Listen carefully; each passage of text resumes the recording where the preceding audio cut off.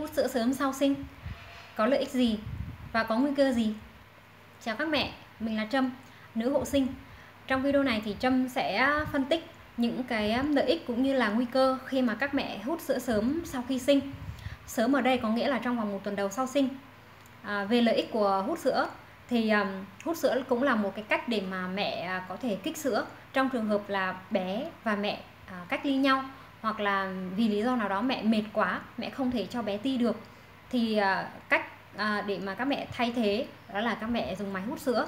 Và nếu như các mẹ dùng máy hút sữa đúng cách thì à, cũng có thể giúp cho mẹ kích sữa cũng rất là hiệu quả. Tuy nhiên song song với lợi ích của hút sữa ấy, thì mẹ cũng sẽ gặp những cái nguy cơ. Cái nguy cơ đầu tiên là à, khi mà à, trong vòng à, 3 đến ngày 3 đến 5 ngày đầu sau sinh ấy, thì mẹ có hiện tượng cương sữa sinh lý ấy, thì à, lúc này hai cái núm ti của mẹ nó sẽ sưng to nó sẽ và cái cuồng vú nó sẽ to hơn nó sẽ phù nề hơn à, lúc bình thường. Và lúc này mẹ sẽ dễ chọn à, sai cái sai phễu. Tức là mình ví dụ bình thường núm ti của mẹ chỉ có là mà dùng sai phễu 24 thôi.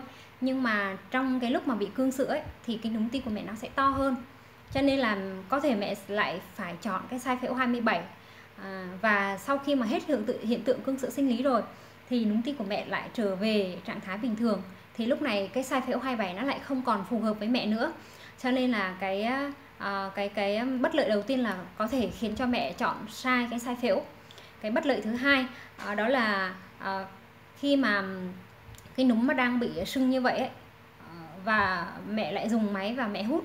Thì uh, khiến cho núm ti và cái quầng vú của mẹ bị uh, tiếp xúc với cái phễu của máy hút sữa. Thì nó sẽ làm cho cái hiện tượng phù nề uh, nó sẽ càng nặng nề hơn.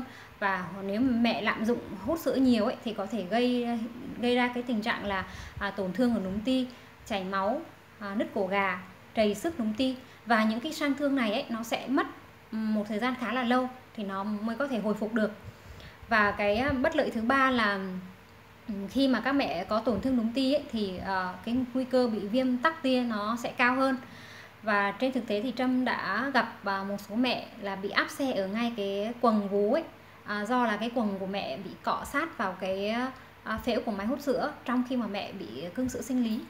Uh, và trong cái video video này ấy, thì uh, Trâm chỉ có uh, ý làm phân tích những cái mặt lợi cũng như là những cái mặt bất lợi của cái việc hút sữa sớm sau sinh thôi chứ không có phê phán hay là chỉ trích uh, cái việc mà mẹ dùng máy hút sữa và hy vọng là mẹ sẽ uh, dựa vào ờ, những cái dựa dựa vào cái cách phân tích này thì mẹ có thể chọn cho mình những cái phương pháp nó phù hợp với mẹ và nếu các mẹ thấy video này có ích thì có thể nhấn like, share và đừng quên nhấn nút đăng ký kênh của Trâm nhé. Cảm ơn các mẹ.